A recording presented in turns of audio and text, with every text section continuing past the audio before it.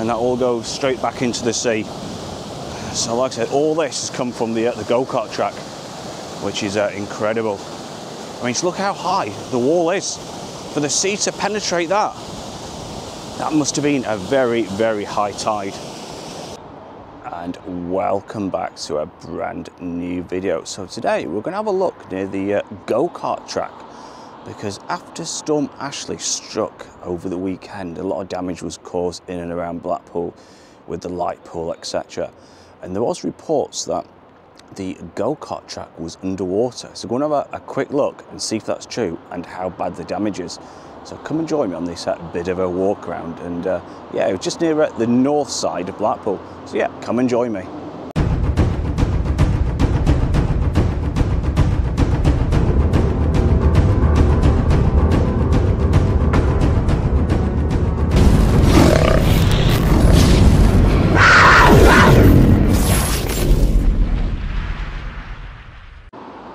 So, like I said, we're just at the, uh, the north end of Blackpool, and uh, we're just opposite the uh, the cabin lift.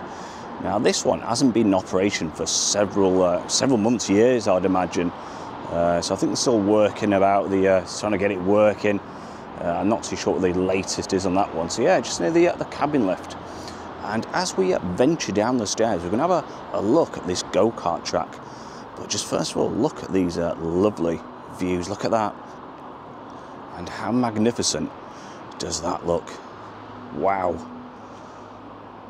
So yeah, we're gonna venture down. Like I said, we're gonna take these little, uh, this little path all the way down. Have a look at this uh, go truck, go kart track, shall I say? What's supposed to be uh, be completely underwater.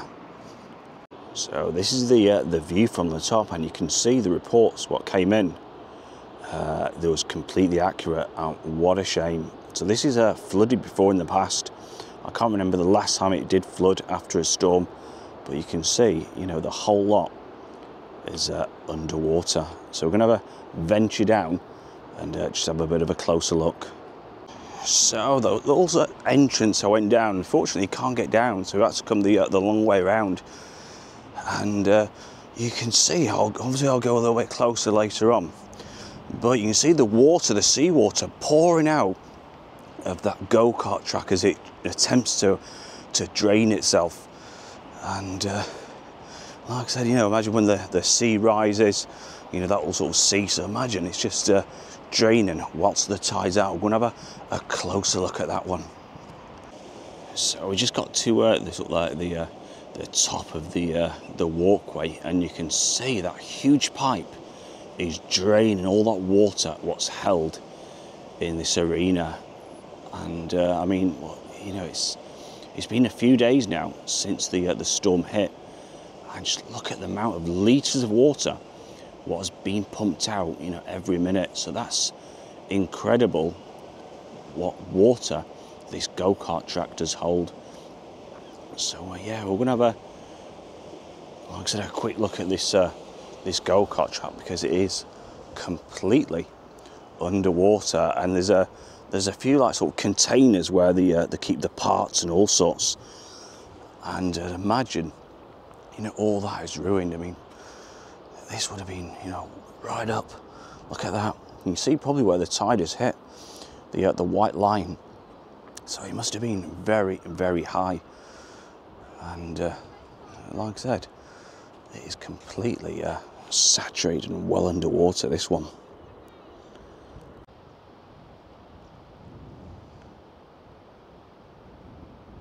Just looking back at the uh, the cabin lift and you can see let's just uh, move the camera down a little. So you see that there's a window there and you can see like the board was sort of flown flown out from uh, from that window which uh, is totally exposed all the uh, the guts inside. You can see the board just lying there. And like I said that's uh, the cabin lift. So that still hasn't been repaired. It'll be a bit of a imagine this sort of walk along and they have access down so that certainly needs to be repaired for any uh, other damage is caused by this one. And that's the uh, the, uh, the lift so this is just the uh, the other side you can see the uh, the sea level you know would have been right up coming up these stairs. You can see like a, a discarded little kid scooter there and all sorts of uh, rubble and everything. Like I said, these containers, I think there's uh, three of those, and uh, you know all the uh, spares and the uh, the things would have been there. And like they possibly would have been uh, completely saturated and ruined. Uh, like I said, this is the the go kart track in Bispham, which is a shame. Like I said, it's been several years since this has been flooded. Um, so you know, it just it shows how strong that storm would have been to breach these high walls. That's uh, that's incredible. So what we're going to do now, we're going to pop onto the to the beach, have a look at this huge pipe, what's pumping the uh, the amount of water out, uh, and then we'll move on. But yeah, it's uh, it's a sad state to see, you know, but at least, you know, it's like self-repairing itself, shall I say, which is great, you know. So it's probably been a few days or probably a few more days, and it'll be uh, drained and I'd imagine ready to use again. So yeah, we'll hop onto the beach and just have a look at this massive great pipe. So it looks like the uh, tide is coming in, so I'm gonna have to be uh, quite snappy about this one. But let's go and have a, a look at this. Like I said, imagine this will sort of stop pumping in the next sort of 40 minutes, hour, as the, uh, the tide rolls in. You can see the tide is certainly coming in. So like I said, we'll be quite snappy about this and end up getting washed away. But yeah, this is the, uh, the huge pipe, what's uh, pumping um, all this water from the go-kart track. And uh, it's amazing how it sort of self-repairs itself, shall I say. Uh, I'm not sure if there's any like pumps or anything, uh, what helps the water go, but yeah, just look at this. And look at the amount of water, what's uh, gushing out here. Look at that and that all goes straight back into the sea. So like I said, all this has come from the, uh, the go-kart track, which is uh, incredible. I mean, look how high the wall is. For the sea to penetrate that, that must have been a very, very high tide. So yeah, it's uh, like it's all rejoining, it's making its own way all the way down. Look at that. And, uh, and it's uh, obviously going to be rejoining, rejoining the sea. So yeah, we're going to get back because of the tide gets in very, very quickly. So we're just back up the uh, the top now, and you can see it looks like nothing's changed. And just imagine the uh, the amount of water what's uh, situated in that track. So like I said, we're back at the top. So we're gonna have a, a quick look around the uh, the north side of um, of Blackpool. So there's quite a few hotels now, been uh, some work's being carried out. So I'm gonna have a quick look at those, and uh, yeah, so we'll keep going forward um, for now. So just near the uh, the Genting Casino, the uh, Sheraton, and the uh, Doric Hotel. You can imagine all the uh, the views. Imagine how many people have been staring out of the window at the top floor, trying to capture the storm um, over the weekend. I mean, what what views you got? You know, the choppy sea. It'd have been fantastic. And also, we've got this uh, Cadbury showboat, and that's always a good one. Fantastic for, uh, like I said, for a bit of outdoor entertainment. And they do great meals in there. So we're gonna have a, a quick look at that one. This is the uh, the Cabaret showboat, and uh, it's just situated in the uh, the north side. It's got 12 giant TVs as well in this one and you can see there's a sign on there and he's saying only sort of two pound a pint that's fantastic. So if you want a, a bit of a, a bit of a drink two pound a pint. That is incredibly cheap. So this is another huge hotel. It's the uh, royal boston hotel. And that's another huge huge hotel. Look at the size of that one. And uh, let me know if you stayed in that one because this has been here for uh, for many years well like most of these along the promenade you know, like the savoy and the cliffs. They've been sort of here for years and years. And like I said, what magnificent views you would get, you know, just overlooking this sea. I mean, wow, that's something else. So yeah, move on a, a little further uh, and then we'll, uh, we'll probably think about ending the video. But we're gonna have a look at these hotels, what are being done up on the, uh, the front of the promenade. And you see that hotel there, that burned down several years ago. Uh, yeah, it's a bit sort of sketchy, shall I say. Um, but yeah, all that's uh, left now is just vans. You know, there's one, two, three, four, five, six, seven vans. They just look like abandoned. You know, looks like a, a bit of a dumping ground for vehicles. So I'm not too sure what the uh, plans are for that. But at the moment, it's just like I said, a, a dumping ground for old vehicles. And just next to that uh, car park, shall I say now what it is, you can see there's a hotel there just next to the uh, Maples Hotel. And you can see that's seen better days. I'm not too sure what's going on there. There's rubbish, there's uh, all sorts just sort of left in the corner and on the balcony. And it looks like that one could possibly be the uh, next to go. So I'm not sure if it's even open or anything. I don't know what's going on with that one at all. But again, you know, fantastic hotels, you know, all along the, uh, the stretch of the promenade on the north side. And looks like there's a, the Moorfield Hotel is now gone, um, which is just next to the Cliffs Hotel. And you can see that's all, uh, that's all been boarded up. And uh, yeah, it's, uh, like I say, it's a shame. It's another huge building. I imagine that'll be probably sort of made into like a care home or something. Um, yeah, another another huge hotel. Look at that, how big that one is. And imagine that, like I said, will be uh, made into a care home.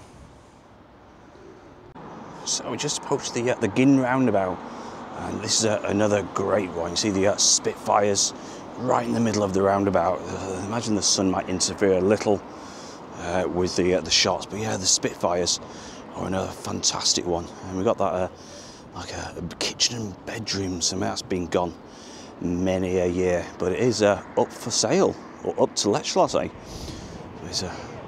Yeah, I don't know what they'll uh, end up popping in that one, but yeah, this is just near the the Gynn roundabout. I'll have a quick look at the the Spitfires because I mean they are amazing display. Look at that. And like I said, they do all sorts of uh, displays.